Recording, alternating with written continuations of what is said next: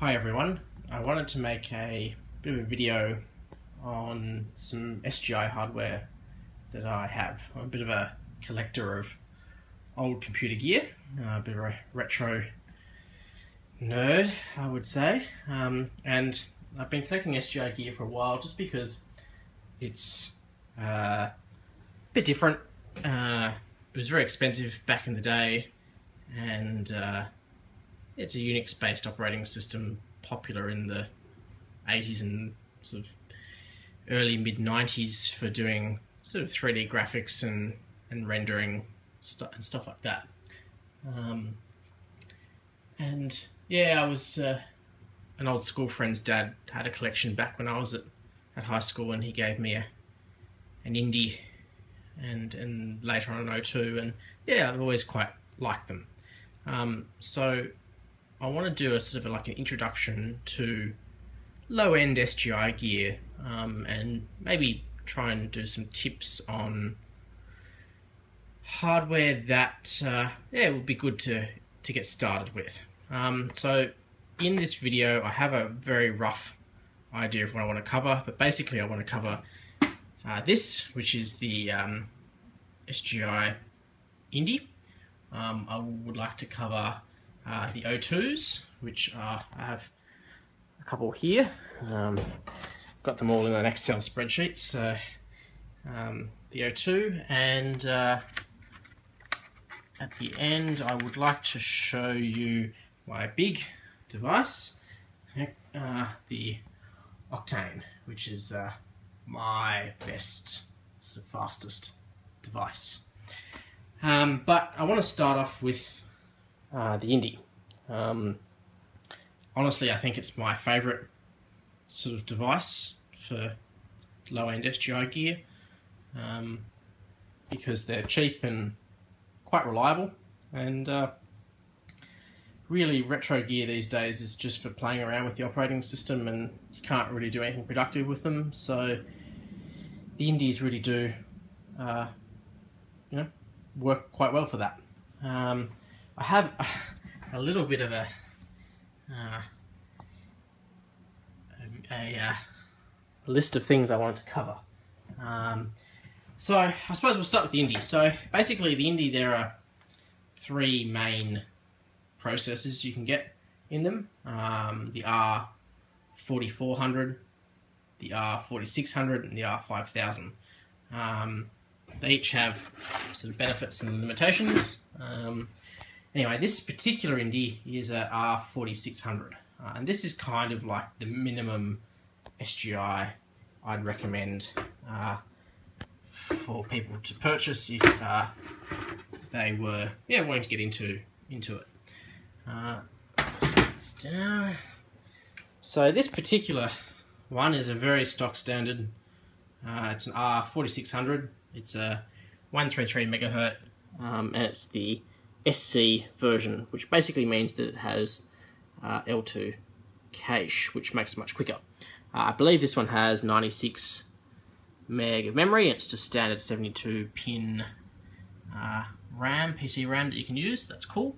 Uh, it has the very base 8-bit uh, graphics and just a single SCSI hard drive. Uh, this particular model has the newer Sony uh, power supply, which is quieter and from what people say is more reliable. Um, I've got a few of the older ones as well and they seem to work fine, they just are a bit noisier. Um, so yeah, I mean, this is the sort of the basics of it. I mean, this is a, a very you know old kind of system. It's a early mid '90s, so pretty old these days. But um, got your video, which is an interesting connector. Uh, you've got all your audio. Uh, it does some S video. Uh, this is a slot for a of proprietary camera, very low quality based on these days, but you know it was pretty cool back in the time uh, 10 meg Ethernet, uh, PS2 ports, uh, some SCSI, and yeah, that's pretty much it. Um, yeah, so this particular one has got yeah, 96 meg RAM, 133 megahertz CPU, 8-bit graphics. This would be fine for IRIX, which is the operating system, uh, 5.3, or you can run 6.5 if you really want to, but it will be a bit slower. Um, so, it's been a while since I've turned this particular machine on. I, I scored quite a lot of SGI gear, um, and as you can see, I have a lot of Indys, um, and yes, more and more. And I have quite a few O2s, some couple of indigos, which I'm not going to cover because they're not running at the moment. Another O2, a couple more O2s, some Macs because why not, uh, uh, and a few other Macs, and uh, yes, quite a fair bit of gear, really. Um, so, uh, I wanted to power this on. So I have a nice uh, SGI monitor here. Um, now what I need to do is hook it up. Um, the Indy has this, hmm, I don't even remember the 13W3 connector or something, which is a bit interesting. You can um, get adapters to convert it. Uh, sorry about this. In. Um, uh, yes, the O2s, which are basically the next, like the Indy 2 in a way, they're like the next generation. They do have VGA, so that's nice, but you need something called sync on green to make the display look any good. Uh, plug that in. Um, plug in the keyboard and mouse. You really need the SGI, well, a, a three button mouse because the OS uses uh, some interesting stuff. Now, um, network would be good, but I think we will just start with that. Screen is on, beer in hand.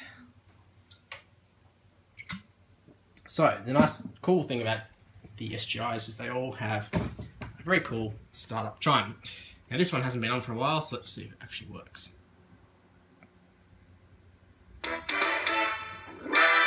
Woo! You it uh, hard drive spinning up.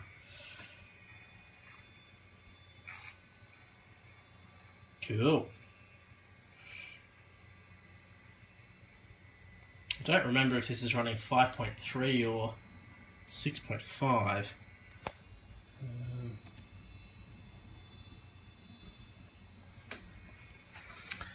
6.5. Cool. Honestly, not much difference for interface. I think you can run some newer uh, software on 6.5, but really not a big, not a big difference. Um, some of the issues with these is that the uh, I think this chip goes, the battery in it goes, so it can lose the, the MAC address. Um, so that can be an issue. Um, hard drives I get dead hard drives quite often, unfortunately. Uh, you can get uh, adapters uh, like this uh, to convert it to a newer SCSI standard, um, and that can be useful. Um, go. It's just uh, starting up. So, yes, I mean this system would have been you know popular in like '96 or something, or probably even earlier. Um, and these were really workstations. They weren't, you really didn't do much rendering or anything like that on them. They don't have any texture memory, so they can only really do wireframe 3D. So fairly basic. Um, but considering the age of the machine, the operating system is really very good. Um, obviously, you can't do anything productive, in my opinion, on these today. You can play MP3s if you really wanted to, or have like a basic shell or something like that, but definitely no web browsing. Uh, well, text-only web browsing, no JavaScript. Um, so, yeah, this one is a, as I said, the 133 megahertz one. Um, yeah, it's a bit slow to boot, but uh, once it's booted, um, it should all be pretty good. Um, so this is the little command to run to show you the specs of it.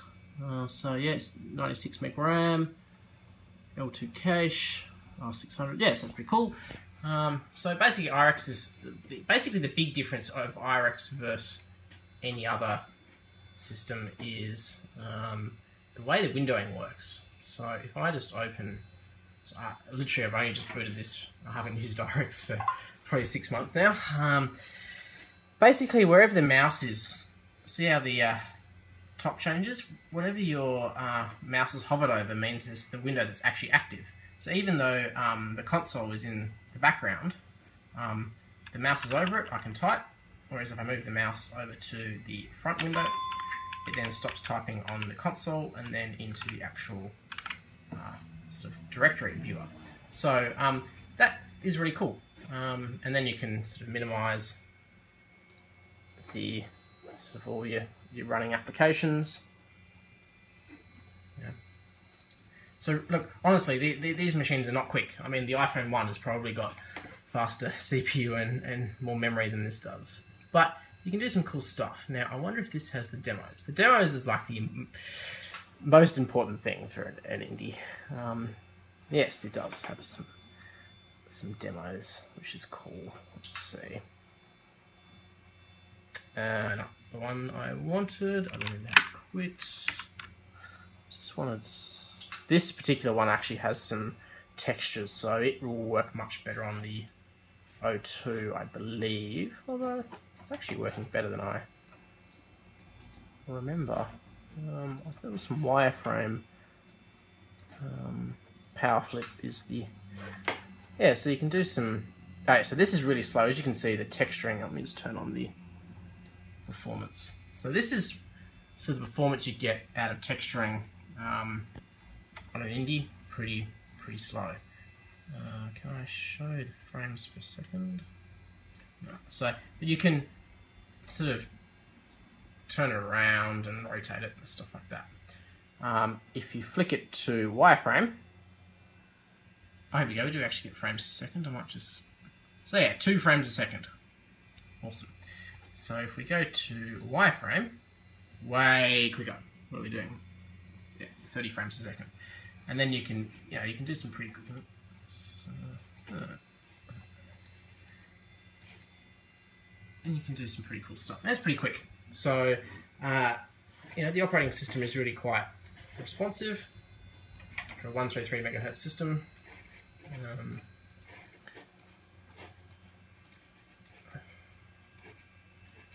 some stuff happening. I don't know. Doom, I don't know if Doom, how well Doom runs on it. Oh, I don't think I actually... Do I have Doom on here? No. Oh, no. So we're still getting 20 frames.